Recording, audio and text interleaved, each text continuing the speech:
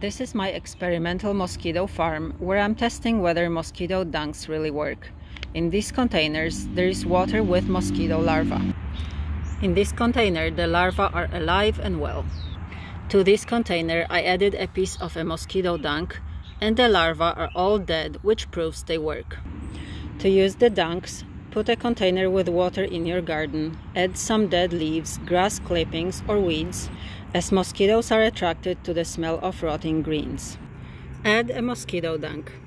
Mosquitoes will lay eggs here instead of somewhere else and the larvae will die before they have a chance to become blood, blood-sucking adults.